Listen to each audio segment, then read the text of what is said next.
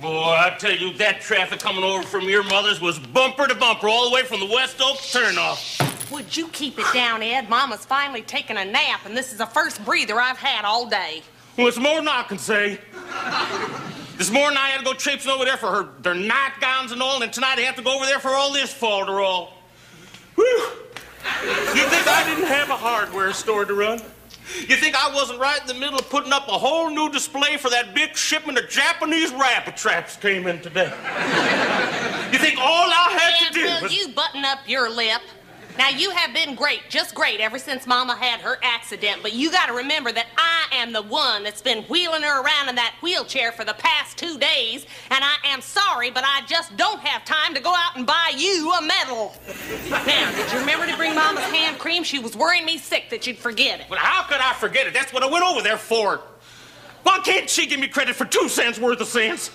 Here's her hand cream, here's her electric blanket, here's her shawl, and here's her Castile shampoo. And the next time I make a trip over to her place, it's gonna be to take her home, and that better be soon. Ed, can't you get it through your head that we almost lost my Mama? Yeah, I know, but if she had to take a fall and half kill herself, why couldn't she have done it over at your sister Ellen's place, and then he, she would have had to take care of her? Did you get a hold of that sister of yours yet? No, I called her again this morning, and she wasn't home, and that snot-nosed little brat of hers said, I'll give Mommy the message just as soon as she gets back from her skiing trip. Yeah. Hello? Thank heavens. Now, don't go into a panic because everything is all right. Mama is on the mend. She's asleep right now. Ed and me, we took care of her real good. We cleaned out the little storeroom right off the living room here, and we got her fixed up there real cozy. And the worst is over, thank the Lord. But that first night, I thought I was going to lose my mind. I was here all alone when it happened.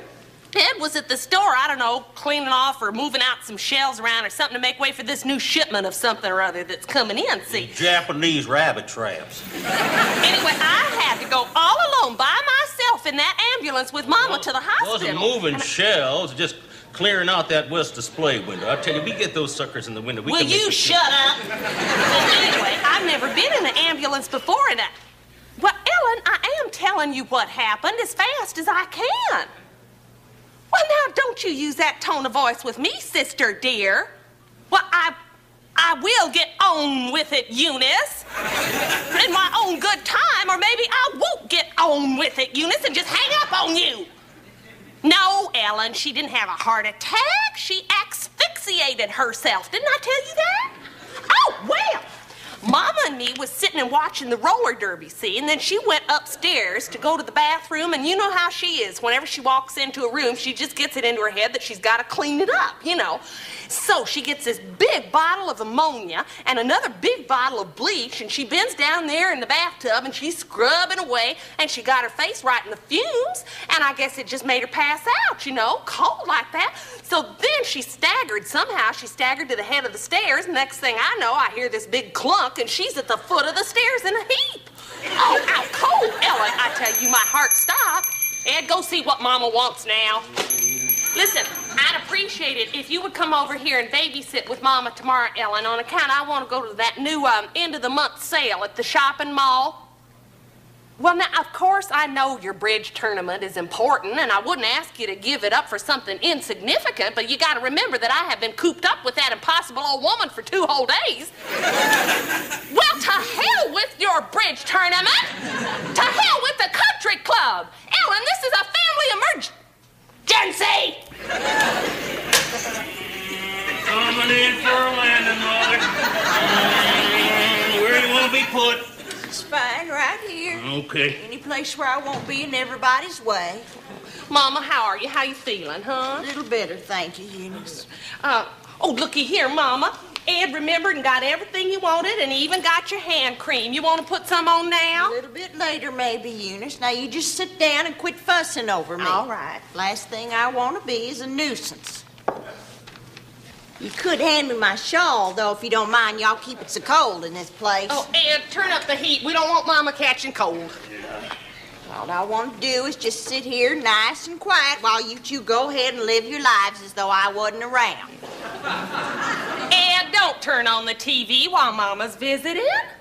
Well, she said go ahead and live our own lives, and it's time for bowling for dollars. That's just fine, Ed. I think it's real cozy for us all to sit around and watch the TV. Although why you want to watch that collection of freaks showing off, I'll never know. Mother, if you don't want to watch bowling for dollars, why don't you just say so? Mama, what would you like to watch? It's all the same to me. If watching TV is all you can think of to do. Well, no, it isn't all I can think of to do. We don't have to watch TV. Why, we can all talk. Sure, we can discuss things. I mean, the possibilities are endless.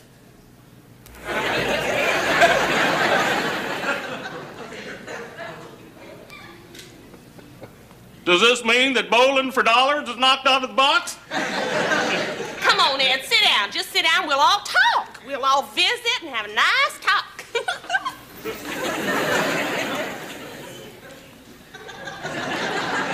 I think maybe I'll just read a bit. Here, Mama. You want to wheel me over there closer to the light, Eunice? Mama, there's no room for your chair over there. I'll just bring the light over to you. Here you go. You got anything to read around here besides these trashy movie magazines? Yeah, read the paper. No good to me anyway.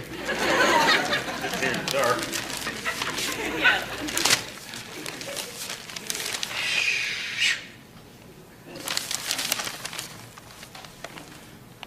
You know, I woke up with the driest throat. The air in that little room is all funny.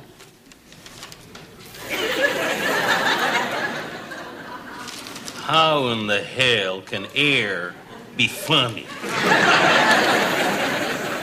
You want me to get you a Coke or something? Eunice, you know I can't stand that stuff. Now just sit down and quit bothering yourself.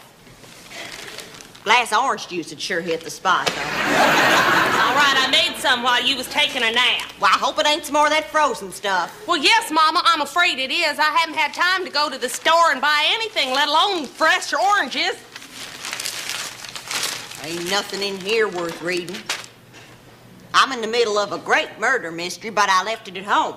If I'd known I was going to end up over here, I'd brought it with me the other night. Silly me, I should have thought to ask you to pick it up, Ed, when you went over to my house. Of course, I wouldn't dream of doing that now. You're probably tired. Yeah, I'm tired, all right, Mom. I suppose tomorrow will be soon enough. My goodness, this glass is sticky. Tomorrow won't be any good either. You see, I'm going to have to spend every spare minute in the Eunice, will you window. please get me a damp cloth so that I can wipe off my hands? When you, you see those rabbit traps came in today. and Oh, I'm- my, yes, Ed, I know. Business has got to come first, even if it is all probably whistling in the dark. Now, What's that supposed to mean? She don't mean anything, Ed. I can speak for myself, Eunice. I didn't mean anything, Ed. I wish you all the luck in the world, you know that. But frankly, I can't imagine the whole town going crazy to buy rabbit traps. Especially when they're made in Japan. They're compact, they're sleek, the trapdoor snaps shut quick as lightning, and they're yeller. Well, like I said, Ed, I wish you all the best. Just don't be disappointed when the whole thing goes down the drain like all your other plans. You want to hand me that jar now, Eunice? You can take this orange juice, put too much water in it. This is not my jar of hand cream, this is my bobby pins. Which says Henrietta's hand cream right on the jar. This is an old jar that I keep on my dresser. I told you that my hand cream was in the kitchen on the windowsill. Well, I forgot that part. I mean, I was in the bedroom getting everything else, and there it was in plain view. I- And it should be obvious to even you that hand cream don't rattle. when you hear the bobby pins in here going clank clank, Well, I might have heard a clink clink. But if I did, I never dreamt it was coming from inside the jar of hand cream. well, can't you open it up and look inside? I don't take time off to look inside of every jar of hand cream I see. Mama, why don't you use some of my hand cream? Eunice, why don't you use the brains the good Lord gave you? My hands are raw from using all that ammonia. That watery stuff you call hand lotion ain't gonna do a thing.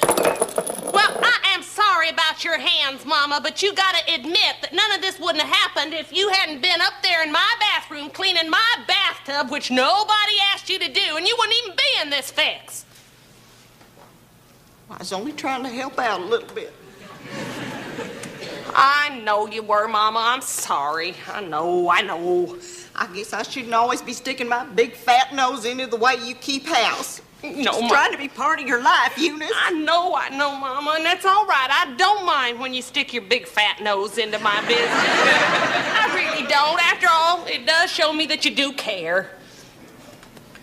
Well, then, could you please clean up them puffy balls of grease and lead out from under your stove?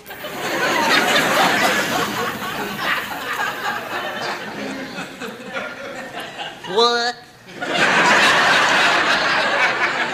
Puffy balls of grease and lint out from under my stove. I don't believe it. I knew this was going to happen.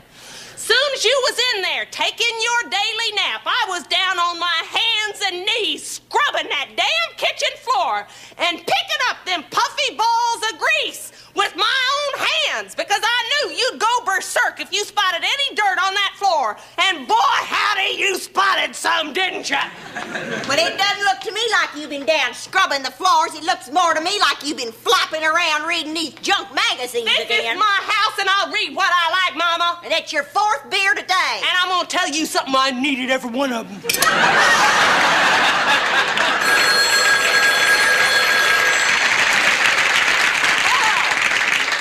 oh, Ellen. Yeah, oh yeah, she's wide awake now. You want to talk to her? It's your precious Ellen. Hello, sweet darling.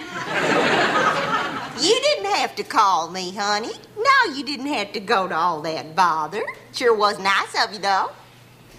No, she didn't tell me you called. Oh, she did?